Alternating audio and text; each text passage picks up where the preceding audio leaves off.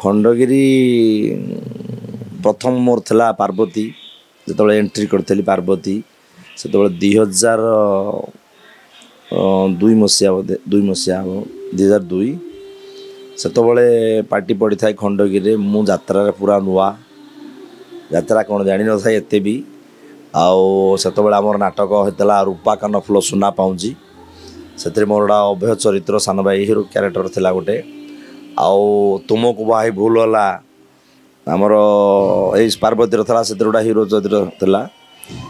ଅସତ୍ୟ ସହର ପୁରୁଣା ମୁଁ ପକ୍ଷୀରେ କରୁଥିଲି ସେଥିରେ ଥିଲା କୌଶିକ ମଙ୍ଗରାଜ ଆଉ ନାଟକ ଏ ତିନିଟା ଆଉ ବି କ'ଣ ଥିଲା? ଆମର ରୂପା କାନ ଫୁଲ ସୁନା ପାଉଁଜି ତିନି ଦିନ ଦିନ ଚାଲିଲା ହାଉସ୍ ପ୍ୟାକ୍ ପୁରା ଚାଲିଲା। ସେତେବେଳେ ମୁଁ ମାନେ ମୁଁ ଯାତ୍ରା ଦ୍ୱିତୀୟ ବର୍ଷ ଏତେ ଅଭିଜ୍ଞତା ନଥିଲା।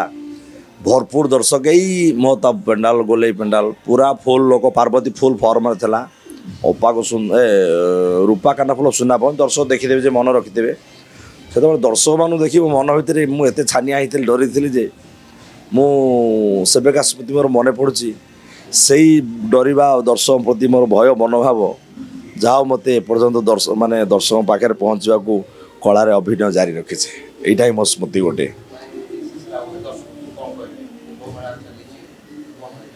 ଦର୍ଶକ ବନ୍ଧୁମାନଙ୍କୁ ମୋର ଏତିକି ଅନୁରୋଧ ସମସ୍ତେ ଆସନ୍ତୁ କଳାକୁ ଭଲ ପାଆନ୍ତୁ ଓଡ଼ିଶା ସଂସ୍କୃତିକୁ ବଞ୍ଚେଇ ରଖନ୍ତୁ। କଳା ବଞ୍ଚିଲେ ଆମ ଓଡ଼ିଶାର କଳା ସଂସ୍କୃତି ପରମ୍ପରା ଜଗନ୍ନାଥର ଦେଶ ଓଡ଼ିଶା। ତେଣୁ ସମସ୍ତେ କଳାକୁ ଲୋକ ତ କେତେ କଥା କ'ଣ କହିଯିବେ କିନ୍ତୁ ଅଭିନୟ କରିବା କ'ଣ କେତେ କଷ୍ଟ ଜଣେ ଅଭିନେତା ହିଁ ଜାଣିଛି ମଞ୍ଚରେ।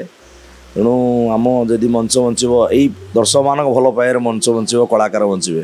ତେଣୁ ଦର୍ଶକମାନଙ୍କୁ ମୋର ଏତିକି ନିବେଦନ ସମସ୍ତେ ଆସନ୍ତୁ ଏବଂ କଳାକାରକୁ ଭଲ ପାଆନ୍ତୁ କଳାକୁ ଭଲ ପାଆନ୍ତୁ ଆଉ ସଂସ୍କୃତିକି ବଞ୍ଚେଇ ରଖନ୍ତୁ। ଜୟ ଜଗନ୍ନାଥ।